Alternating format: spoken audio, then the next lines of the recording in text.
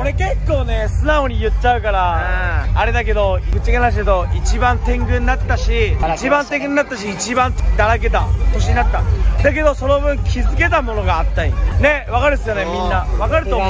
一番悔しかったと思う俺らが。あ俺らってこのままいけばマジであなんかもうかっこつけとったよ。ぶっちゃけなし。それがもう良かった部分があったけどダサい部分がかっこよかったよそこちょっと忘れちゃった部分があってきたそういうのをさやっぱりさ今までさこれ動画使うとか使わんとかじゃなくてさめっちゃ本人で話したいからさ。一つ丸がずっと僕に言ってくれてたことがあるんですよ。ずっともう2年前ぐらいからずっと僕に言ってくれるんですよ。酒飲んだ時酔っ払った時なんですけど今のファンを大事にしようって。だからファンク丸はずっとやってる。そうだね。そこなんですよ。丸めっちゃ好き。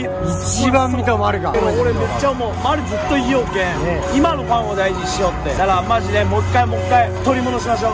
取り戻すとか入れるも声レベチが違うところまで行きます。もう所長に。